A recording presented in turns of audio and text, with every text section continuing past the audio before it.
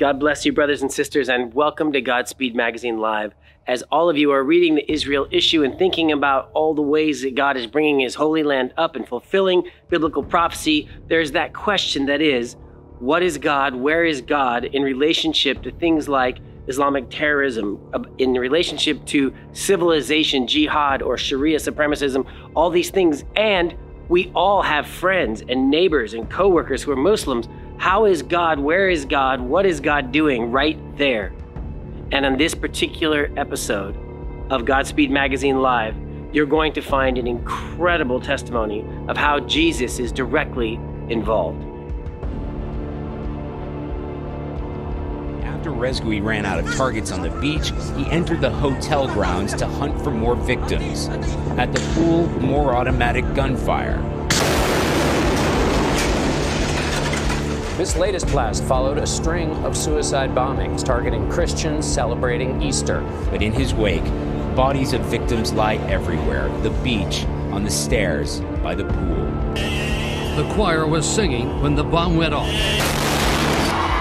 But the sounds of chaos and screaming could still be heard.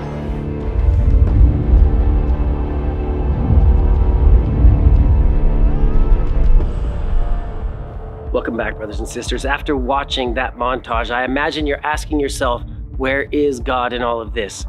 When we come back from this quick commercial break, we will be here at the Church of Yeshua HaMashiach in Lemon Grove, California, to interview a man who personally encountered Jesus Christ in his hospital room, and you won't believe what happened. I'm Haitham Besmar. I'm the author from this the book From Deception to the Truth, From Allah to God. You can get it on Amazon.com worldwide. It's a good tool if you ever want to improve your knowledge on the subject of Islam, whether it's for pers personal growth or for to be able to benefit those around you with the right knowledge of how to minister to Muslim and bring them into Christ correctly. May God bless you and thank you for being here. God bless you, brothers and sisters, and welcome back.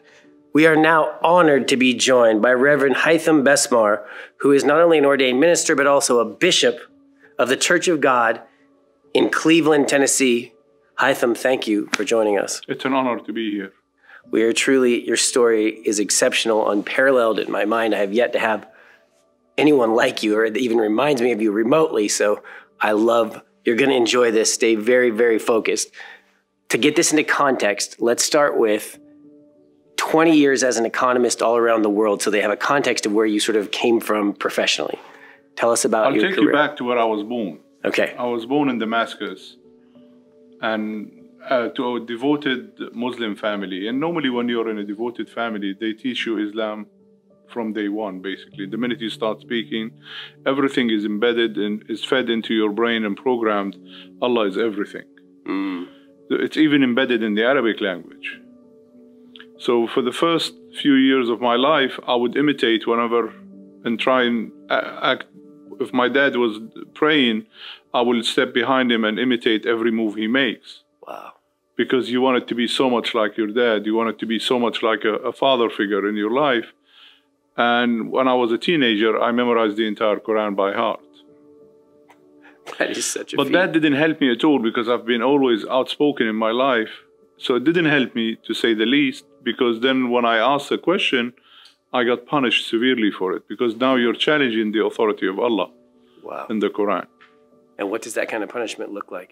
Um, heavy-handed, everything that, we, that a parent shouldn't do, they did because in their opinion, they're preventing you from falling into hellfire, which Allah promises severe punishment to those who question Him in the Quran, in many sections of the Quran.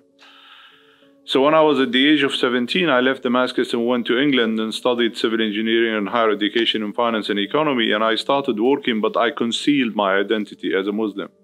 Mm. Because it was so embarrassing for me, everything that's going on in the Muslim world, I didn't want to be associated as one of them. Wow. And then I would see when the Arabs flogs into England in the summertime and the the shameful act and the heinous acts they do, whether it's lust, perversion, everything you, you, you don't want to see a Muslim do or a human being do, they were doing it. Mm. Getting drunk, getting, uh, being a womanizer, being in clubs all the time. and spending money like rice for nothing. Uh, not that there is something wrong with it, but at least do it for the human benefit rather than for lust and perversion. Absolutely. So I wanted to disassociate myself totally. And when somebody asked me, "Are you from? Where are you from?" I'm, from England. I would dismiss entirely the whole idea of anything associated with an Arab world or being Muslim or any of that, because I was so deeply embarrassed by it, and I didn't want to be associated with anything of the same. Amazing. Then I started working for international organization. I traveled the world. Uh, a lot of them were Muslim world, and the contradiction became even higher. So the need for me to conceal my identity as a Muslim became even stronger because I didn't want to be associated and be equal to these hypocrites. And if you look in the Bible, Jesus got really angry in the cases when he met the hypocrites and the Pharisees. Absolutely. That's when he truly got angry. He had patience with those who are lacking the knowledge, who have no idea what's going on, but he was always angry, and truly he, he had the anger of God manifesting through him when there was hypocrisy and contradiction. So So that raised up anger in me, and I disassociated myself from the whole concept of Islam totally, and I became a closet Muslim. Hmm. I prayed five times a day. I fasted Ramadan. I did the, the, the, the beads, like the Roman Catholic, the worry beads. Muslim carry them around. I did maybe 2,000 vain repetition prayer every night because of the fear. If I don't do them, Allah will punish me and punish all my family. So there was nothing out of content, out of love and relationship with Allah. It was always out of fear. Until I was told by two hospitals I wasn't going to live until the morning. this this piece is the piece that absolutely amazes me. I've heard so many testimonies. I have the luxury of getting to hear testimonies from people, of getting to ask about testimonies, but people that have had either an auditory, physical encounter with Jesus, hearing the voice of God or voice of Jesus. Uh, so please, Well, I guess God knows us more than anybody, and Jesus knows us. When He said, I knew you before you were formed in your mother's womb, it is correct. Because He knew my wife, who, when we got married, she was born again Christian. And she would sometimes discuss with me. In fact, the first thing she said to me, Your religion freaks me out, because I thought, well, things are developing towards marriage in here now. And you need to know, I'm not a Christian, I'm a Muslim. I can talk the talk, but I'm a Muslim and it's concealed in me. And she said, Well, your religion freaks me out. I said, Don't worry about it. Mine it freaks me out as well. it's the known fact. And once in a while, every now, she never challenged me. Bless her heart. She was always good and peaceful about the whole thing. And she would bring out something in the Bible, and the first thing out of my mouth will be, which is what a Muslim would say, Yeah, don't worry about it. The Bible is corrupt. Because the Bible is being translated. But then when I research into the Quran, the Quran is corrupt. According to Islamic references that are 100% authenticated and approved and acknowledged by all Islamic authorities around the world, Sahih Bukhari says that there were supposed to be 116 chapters. And another reference, Sahih Muslim would say in volume 3, would say there are supposed to be 111 chapters, wow, but we have 114 chapters. wow. So if you think about it, they either took away two chapters or added three chapters. But the, in chapter 6 in the Quran says, no one will add or take away from what Allah says. Well, they have. Plus, it's only in Arabic. So if you're from Indonesia, Malaysia, India, Pakistan, or anywhere around the world that does not speak Arabic, and that is 73% of 1.6 billion people around the world, they have to rely on whatever translation into their native language. So they cannot dismiss it and say the Bible is corrupt because it's translated. The Quran is corrupt because it's translated as well. Yet when you're asking somebody to pray, they have to pray in Arabic, they have to recite the Quran in Arabic. So they're reciting like parrots. Now that's dangerous because you're reciting in prayer what is not from your heart. You're just saying it. mimicking it. Yeah, I can make 10 parrots Muslim, but does it make them a Muslim or Christian or whatever? You have to have the heart. Absolutely. It's all from the heart, and there is no heart in it. So when I was told within three days, in five years ago, I lost vision in my left eye for the shingle virus in the optic nerve. The hospital told me, the first hospital said the virus traveled backward into the brain and it's eating the brain. So I, I told the doctor, don't worry about it, you do your job and I'll do mine. And she said, well, I know what my job is. And she was laughing at me like, uh, what are you going to do? I said, I'm praying. "Oh, okay. Yeah. But your organs are shutting down. So what are you Oh going to do? I said, I'm going to pray. So she went away, and 40 minutes later, she came back. She said, We decided to send you to a different hospital. They're dealing with your eye anyway. They're a more equipped trauma one division hospital, and we're going to send you there. So I said, That's fine. They sent me there by ambulance. So when I got in, I told them I need you to do all the tests from the beginning. Forget this two inches dossier that the first hospital sent with me and do your own tests. So they did. Within an hour, it was just after midnight, the doctor came to me and he had the dullest and the most sad look in his eyes. And he said, You know, my friend, I'm afraid all the statistics are against you. If you survive until the morning, we're going to have to induce a coma to slow the virus because I'm worried it's going to go into your right eye. And it's already going to make So if you experience slowness of speech or inability to make thoughts, correctly or speak, it's normal. It's part of the progress because we have no idea which area of the brain is being attacked until I get the team in the morning to do the CAT scan, the MRI, everything else. So I said, okay, I'm hooked up to more wires than you need to run the entire city. So you don't need to bother me anymore. And he, s- he looked at me, he said, no. I said, then go bother somebody else and leave me be. And let them know at the nursing station if they need something, unless urgently they see a flat line, they don't need to come in here. He said, okay. So he left. I turned on my right side and I started praying for Allah to take me. Because I didn't want to be a vegetable. I didn't want to be dependent on anybody. And I didn't want to be a burden for my young family. So you prayed for death. I prayed. I was done. I thought I've done, I've been in control all my life, more than anybody can imagine. I've achieved more projects and more achievement in my life than 10 people put together. And I thought, I'm done. I've reached, I've, I've done the race, in my opinion. So I was praying for Allah to take me, and that's when I felt a, a hand touching my heart with a voice telling me, You're not done here yet. I've got so much work for you to do. I thought, I'm dead, I'm in heaven. They put me to work immediately. There's no, but I just got here. Give me a chance. Let me rest. And I opened my eye, and there was a, a, bright light coming in. I couldn't figure out what it is, but I could see the image of what we know of Jesus Christ, Yeshua. And I said, Who are you? He said, I'm Yeshua. I said, Which Yeshua? he said, The only one, Yeshua HaMashiach of Nazareth, that is born, died on the cross for you, raised from dead, and is now in heaven. And I said, Okay, where is Muhammad in all of this? And he said, Muhammad is dead. Okay, I know he's dead. He said, I am that I am. I am the Alpha and the Omega. I have known you and loved you before you were even formed. I said, but hold on a second, sir. You've got the zip code wrong. I've been a Muslim for 50 years. He said, I know, but I've had my eyes on you all your life. But the Quran 4, chapter 157 says, You were not killed, you were not crucified, it was made to believe. What kind of an aloof God will give you deity and take it away 600 years later? He said, No God would take me, take my deity away. Explain to me his deity, why he had to die on the cross for you and me.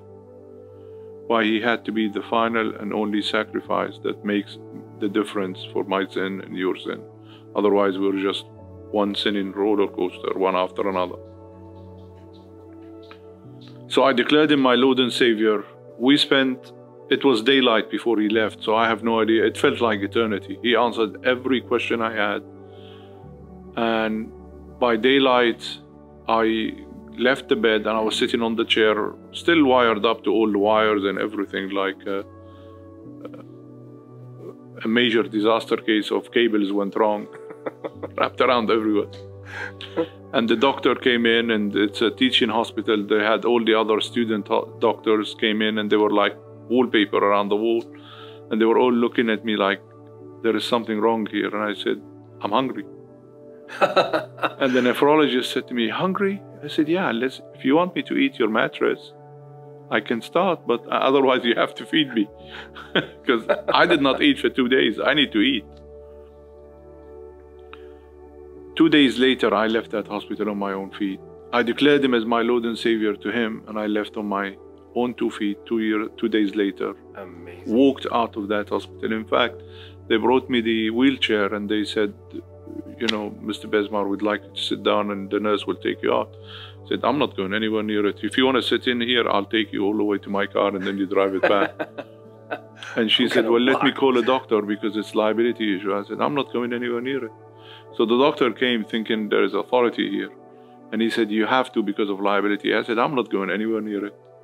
I am walking outside of here. You want to sit in it or walk with me? You can. He said, I'll walk with you. So I asked him along the way, I said, Has there anything that you've missed maybe in all of this? Because I did not take medicine. I refused morphine all the way because uh, I've never been on drugs. I wasn't going to die on drugs. Amen. And he said, We must have missed something. And I said, Yeah, you've missed a big miracle here. You're looking at one. I was supposed to be dead according to you. I'm out walking on my own feet, discharged. All my organs are working. And he, he didn't know what to say. I'll bet he But then when I left, there was a point where I had to come out and say, honey, by the way, I'm Christian now, because I couldn't tell my wife. How long did it take you to finally tell her? Uh, about two weeks.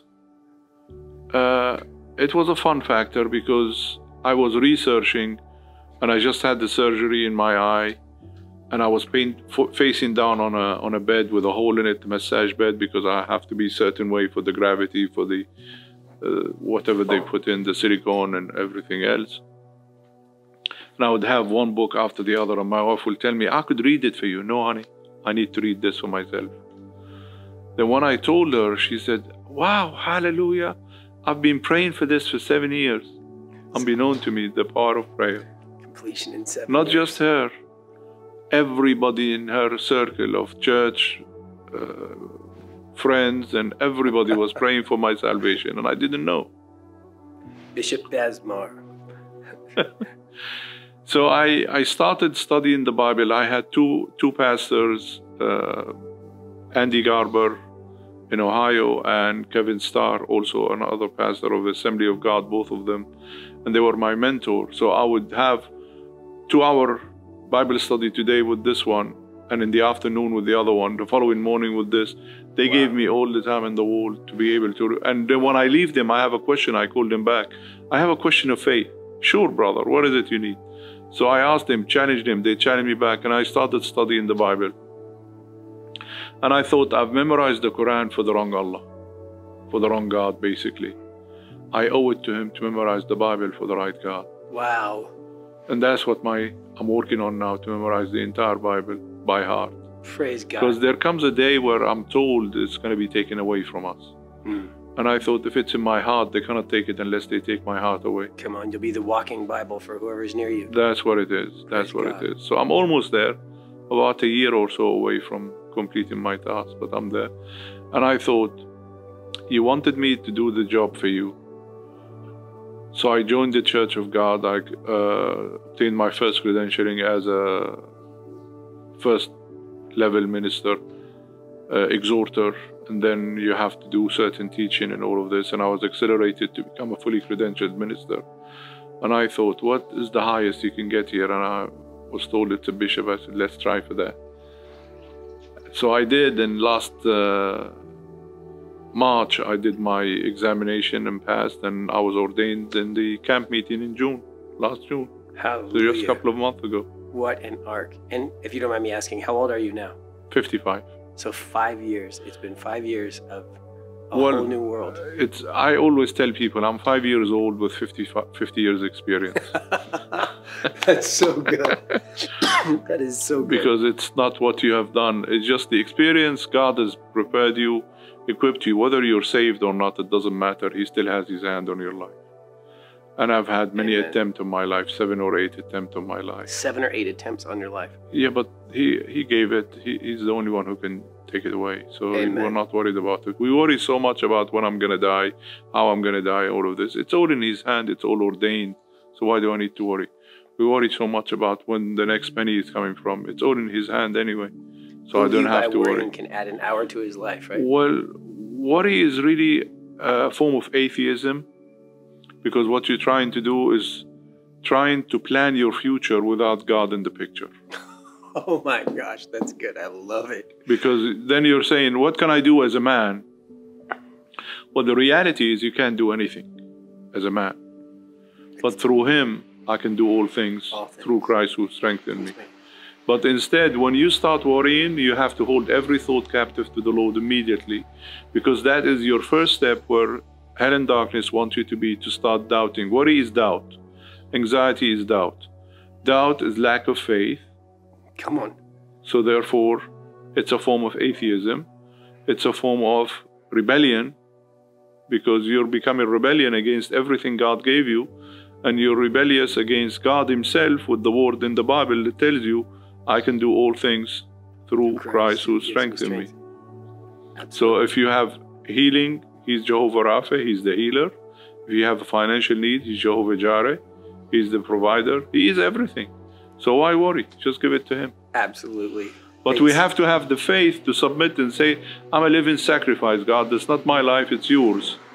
Take it however you want it to be. Your will is what I need, not my will. Amen.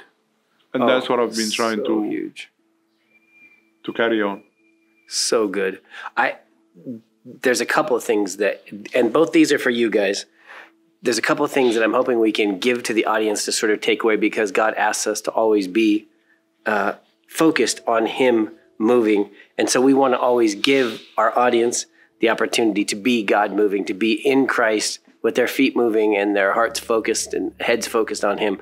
And so the two thoughts I have that I think would be incredibly valuable for the audience would be one, how would you tell the audience to separate in their minds, don't connect? Um, if you have Muslim brothers, sisters, friends, neighbors, whoever that are around you, these are the ways where these people minister and get closer. And on this side, if you start seeing these particular signs, this might be more like do not go near this area because I think America needs that sort of ability to discern the difference between Islamic terrorists, for example, versus Muslim neighbor. Yes. Well, what there is, there is no Islam. The terrorism of Islam is no longer an issue. The, the, for somebody to come in and shout Allahu Akbar and detonate themselves is not so much of a fear anymore. Right, that's not the primary form right now. The form right now, which is has always been the agenda of Islam, because when violence doesn't work, you have to penetrate under under uh, cover, and that's what they have been doing is the cultural and political jihad. Hence, we have four uh, Muslim in Congress now, and they're doing enough damage without fuel. So can you imagine if you give them more fuel to it? Uh, before you go and worry about your Muslim neighbor and friend or, or colleagues, co-worker or family member who suddenly flipped and turned to Islam, we have a lot of them these days. Let's worry about you where you stand with God. Amen. Because it's so easy to point at others and forget you. Oh, so true. I want to be able to focus inside, outside into me first. Make sure I'm aligned with the Word of God. I'm doing what God wants me to do before I could start going back, going outside and judging others. And who am I to judge? It's above my pay grade anyway. Absolutely. So I cannot judge. But we could be fruit inspectors, where you could say, well, your fruit says other contrary to what your belief or what I hear from you. Because we have a lot of churchgoers that say something, behave differently. They're heathen all week and angels on Sunday and Right. Wednesday. Absolutely. And they think two hours a day. The key factor here is to isolate all the noises. If you're in your car and you're trying to listen to music, do you put a hole in your mufflers and open the windows and leave a door open and say, My music is so crisp? That's the same way trying to listen to the voice of God. You have to isolate all the outside voices. When you go to a Muslim friend or an atheist or whatever religion that calls for other than the deity of Christ is an occult. So you're dealing with Islam, you're dealing with Jehovah's Witness, Roman Catholic, you're dealing with any denomination that does not call for the deity of Christ, the Son of God, the living God, the one who is, was, and will always be, and is coming back, and it's an occult. Hallelujah. So therefore, when you're dealing with those, you need the Holy Spirit. We don't lead anybody to Christ. Amen. Only those whom the Holy Spirit lead them to can be led. And there are those who That's so sow, those who water, those who Bring it back. cultivate. So you cannot be all of them at the same time. God will accelerate time at the end, where you would He would accelerate according to Amos nine thirteen, I believe. He would say the reapers will become the, the the sower will become the reaper, and they will overtread their grapes, and so God will accelerate time, and sometime He will accelerate, and God knows how much He accelerated me in the ministry, because in five years I've accelerated more than twenty five years, equivalent to somebody else. But it's for His glory. It's not about our name. It's about His name, not our fame. His name. So true. So what you do when you meet a Christ, when you meet a Muslim brother or sister or a friend, coworker, whatever it is, ask them questions that mean most to you, inquiry of faith, but be equipped. And if you have somebody who is going to justify, they're not willing to listen yet. Mm. If you ask them a question and they justify their their their answer, and they go around in circles, they're not equipped. They're not ready yet. I was 50 years in Islam with the stupor spirit covering with the blinder over my eyes. I couldn't see the reality and the truth if you hit me with it. Mm-hmm. And those who wants to justify and explain and justify and explain, I always tell people when I meet a scholar in Islam, it takes two and a half to three hours to lead them to Christ. The more knowledge they have, the better it is for me, because you can puncture those knowledge. Mm. You could show them the contradiction. When you meet an idiot and you want to lead them to Christ, it takes few years. and and that's no exaggeration. I just want to say for the camera, in full disclosure, God calls us to be transparent and authentic. You're looking at a 35 year idiot. 35 years it took me to be punctured and finally accept that Jesus was God. I had no idea. And he had to almost practically, literally slap me in the face to spin me around and make me go straight. So I'm living proof of that theory Well, right there. that, that's what it is. You justify. And I, I was uh, in deception. I thought I was so smart and and basically nothing in the world will beat me until I met him and I realized I was just a dipstick. in, in the midst of this, we're right in the middle of the Israel issue right now in Godspeed Magazine. We just did an interview with Perry Stone and with a number of others that were Israel specific um, for one reason or another. Um, what are your thoughts about God showing up in the Holy Land in terms of like where God shows himself as God is in action, as God's fingerprints are tangible, in the way that Jesus showed up in your hospital? Mm-hmm. What are your thoughts about Israel as God's fingerprints? God is always said, He said, I will bless who bless you and curse those who curse you. To Abraham. There is no way about it. I actually I found out that I was a Jew on my mother's side and my dad's side from the tribe of Judah. You are kidding. No, hundred percent. And Oh I, he told me when he was with me, he said, "You know, you being a Jew, you'll understand what I'm talking about." And I thought, well, I'm, I'm going to discuss that later. I'll, I'll come back to it another time. I had more questions that I wanted to ask him. Amazing. Uh, Jesus told you Yes, That you were Jewish. You know, you you, you being a Jew. He was talking to me in this. He said, "You being a Jew, you understand." And you didn't know you were a Jew at that know. point. Oh but then I gosh. researched my lineage, and both my mom and my dad are Jewish. But if you look back to the history, the 12th tribe of Israel are formed in around the, the, the, the Syria, what's called Syria now. So, and they were oppressed and forced into becoming Muslim, otherwise be killed. Right. So if you trace it back and you go, then you find out. Amazing. But you have to be centered. You have to be centered on the word, on the word of God, Yes. not your knowledge. Amen. So before going out there, go out, center yourself. I, I thought I was centered uh, a few months ago until I broke my leg on a horse riding accident. Then I had far too much time to spend with me.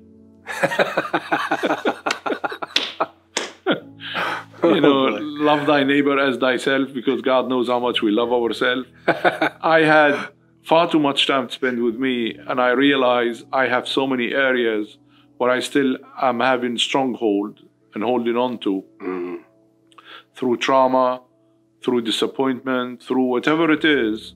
And I have to truly cleanse, in, uh, cleanse it out of me and say, okay, God, it's your will that I want in my life, not mine. I've Amen. tried it my way, it sucked. Yeah, me too. Ditto. so now I want to try it your way. And the nation of Israel are blessed through the blessing of uh, Abraham and every plan of God, everything God prophesied and told us through the prophet as came to fruition. So true. The, the only thing is now what we're supposed to do is to pray every day for their safety, for their blessing to come upon them, for their saving every unsaved soul to be uh, to become to the knowledge and the awareness yes, of the yes. knowledge of salv- salvation, the message of salvation, and act upon it. Yes. Because they are to be saved. They must be saved. Yes.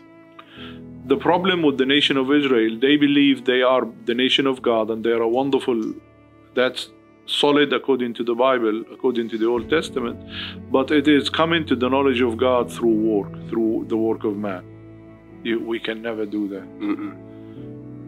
And the Gentile and the Christian, we realize that we can only go, on the Messianic Jews as myself, we've realized that we can only go to the Father through Christ who strengthens us, who gives us salvation and redemption. Absolutely. Now, what we have to pray, and that's what I'm praying for, is actually my mission next is I'm planning to go to Israel, equip the nation of Israel, the, the, the, the government, everybody in, in places of authority, of how to deal with the Muslim influx and to open up their, their eyes into the true agenda of Islam. Soft or strong, it doesn't matter what it is, but how the agenda, how it plays under the current.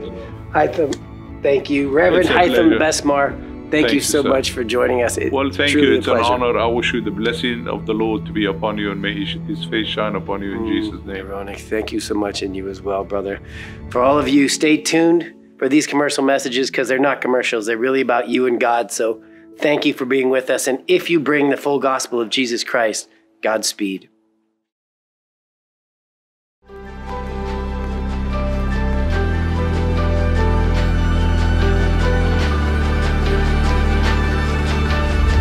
And you have an amazing platform, an amazing magazine. And Godspeed Mag looks like it's pretty awesome. Uh, Godspeed uh, magazine is a great way to get informed. You have an ear for the right story. He says something awesome about your magazine, and I can tell you, God's going to do something awesome with Godspeed magazine. And you get good content through Godspeed magazine, so it's a win-win. Uh, I'm calling the body of Christ to say we need to support Godspeed magazine. God bless you. And since you bring the gospel of Jesus, Godspeed. Amen. Woo, I like Godspeed. Yeah.